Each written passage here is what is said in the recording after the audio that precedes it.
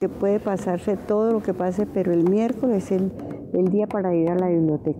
Era una necesidad, realmente cuando se planeó esta biblioteca para nosotros fue sensacional. Encuentra uno otro, otro ambiente muy diferente al que le encuentra en la calle, en la casa. Carecíamos de un espacio como este. Hacia el norte era muy difícil conseguir una biblioteca como esta.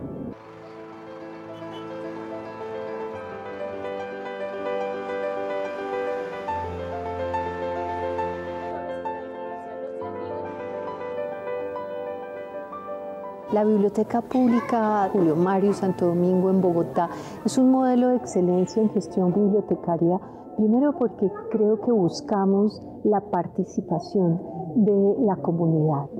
Eh, tenemos diferentes canales para trabajar con la comunidad y creo que eso nos hace fuertes. aproximadamente tenemos mensualmente 50 mil visitantes y de estos visitantes todos cumplen, digamos, diferentes posibilidades. Algunos vienen a solamente la consulta, a llevar materiales, a la lectura interna en, en nuestras salas o vienen a participar de los programas de promoción de lectura y escritura. No, yo no me quiero bañar. Sí, te vas a bañar.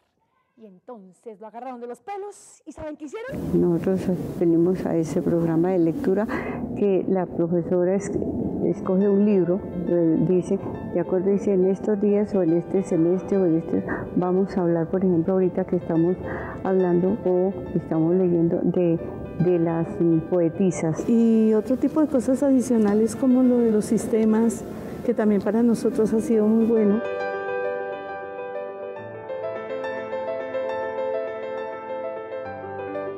Incrustar una mega biblioteca con estas características pues ha ayudado a potenciar esa gran oferta cultural que tienen estas dos localidades.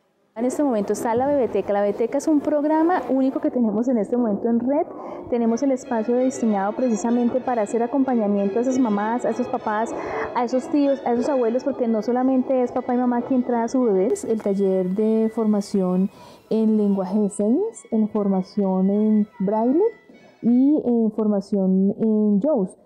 Ay, genial. A mí me, me ha llenado como de, digo yo, se siente uno como, como más joven de lo,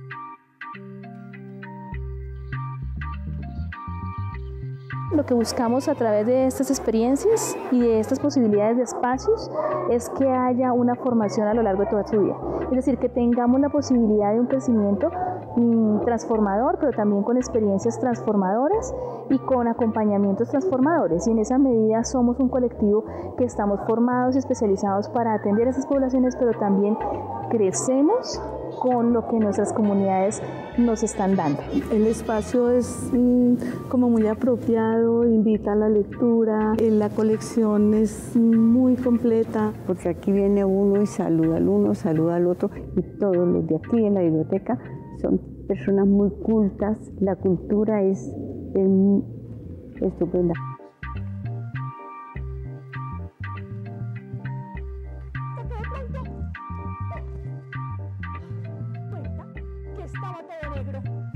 Yo he escrito un par de cuentos que me los publicaron.